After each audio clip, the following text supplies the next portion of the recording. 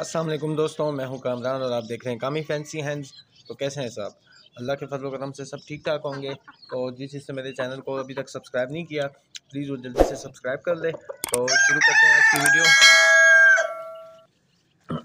अच्छा आज हमारा टॉपिक है जी बीट रूट यानी कि चुकंदर। चुकंदर के पोल्ट्री में इंतहा कौन फ़ायदे हैं? अच्छा सबसे पहले बात करेंगे जी इसके फ़ायदों की। तो ये बहुत बड़ा सोर्स ऑफ़ फाइबर है। इसमें बहुत सारा फाइबर होता है, ठीक है, जो कि इनके जिसम के लिए बहुत ज़्यादा मुफीद है, ठीक है। फिर इसके अलावा जी बात करते हैं इसके अंदर और क्या क्या मौजूद है। अच्छा इसमें पोटाशियम भी मौजूद होता है और इसके अलावा जो है मैग्नीशियम होता है, आयरन है वाइटामिन सी है। देखें, अंडे देने के लिए जो जो सिर्फ़ में इसमें प्रोटीन मौजूद नहीं है, बाकी हर चीज़ इसमें तकरीबन मौजूद है। तो अगर आपकी मुर्गियाँ अंडे देती हैं और वो वज़न कम कर देती हैं, ज़ाहिर है वो मुर्गी जो भी अंडे देती है, अपना वज़न जो है वो बहुत जल्दी कम कर देती है। उसके लिए बीट रूट यानी कि चुकंदर बहुत ज़्यादा फ़ायदेमंद है और सस्ती और माकूल रकम में मिलने वाली ये सब्ज़ी है।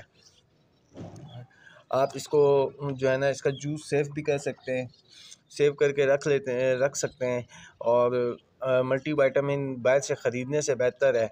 घर में अपना मल्टी वाइटामिन बनाएँ। Syrup type. तो तरीक़ेकार मैं आपको इसका बता देता हूँ, बहुत ज़्यादा इजी है। इसमें पानी वगैरह मिक्स नहीं करना होता। तो शुरू करते हैं। अच्छा आपने करना क्या है कि आपने चुकंदर का एक पीस ले लेना है।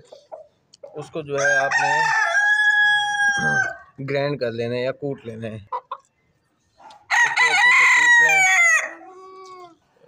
उसको अच्छे से कूट लें आप और कूट कर आपने किसी जाली वाले कपड़े में डालकर उसका जो है रस को निकाल लेना है।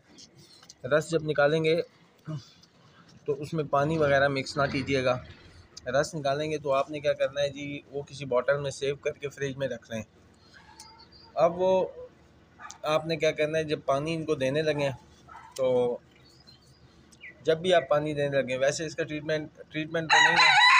वैसे अगर दें तो सात दिन के लिए आप इनको महीने में एक दफ़ा पाँच छः सात दिन के लिए दे सकते हैं। अच्छा आपने क्या करना है जी?